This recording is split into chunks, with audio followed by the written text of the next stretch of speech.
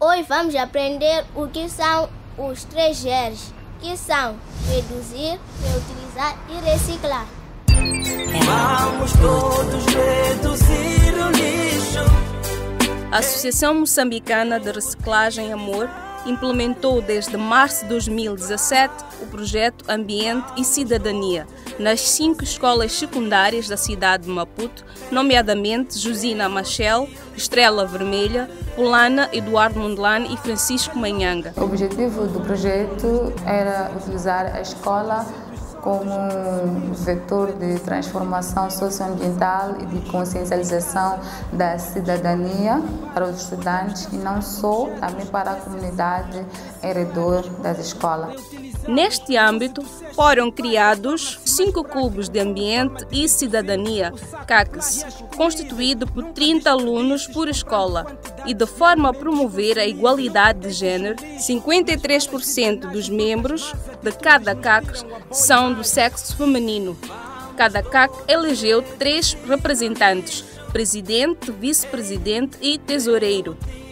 Montou-se um ecoponto escolar infraestrutura de recolhas de resíduos recicláveis separados, composto por quatro baldes de resíduos de cores diferenciadas: azul, papel, papelão, revista, vermelho, plástico, amarelo, metal, cinzento, lixo comum. Essas infraestruturas foram colocadas também como parte do concurso que em simultâneo estava a decorrer com o projeto e o tal concurso era Recicla e Ganha.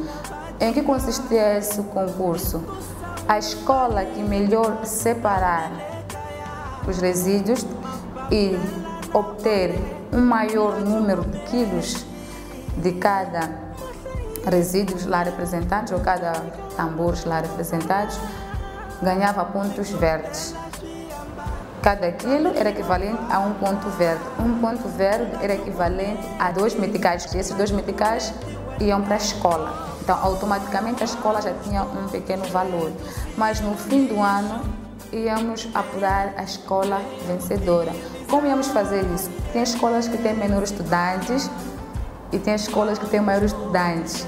Então, para não ter questões de batotas, as coisas não correrem bem, foi foram, foram tendo outros pormenores da avaliação que não só tinha que ser a pontuação alta dos quilos, mas a proporção dos estudantes que existem naquela escola e a proporção do resíduo que o estudante depositava naquele ecoponto. Estação de 3G, saibam que de matéria velha sai um produto novo, onde saem ferros. Os cacos tiveram sessões de capacitação uma vez por semana, ministradas pelos técnicos de amor, nomeadamente teorias e práticas de ambiente no geral, gestão de resíduos sólidos urbanos com enfoque na reciclagem.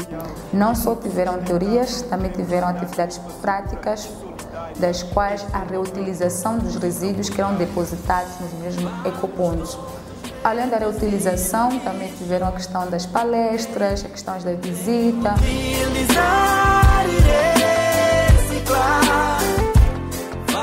Jornada de limpeza, Operação Caco Lígamo. Limpeza na praia da Costa do Sol. Participação do programa televisivo Nós Somos a Natureza, da TV Maná.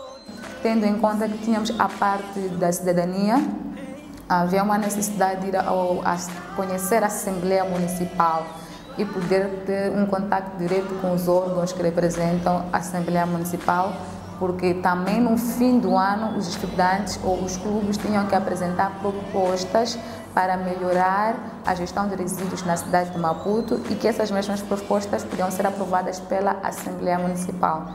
Então, antes que as propostas estivessem prontas, havia necessidade deles conhecer a Assembleia Municipal, saber como é que funciona uma Assembleia Municipal, como é que ah, as propostas ou as ideias que eles tinham nas escolas podiam chegar até a Assembleia, até a fase da aprovação.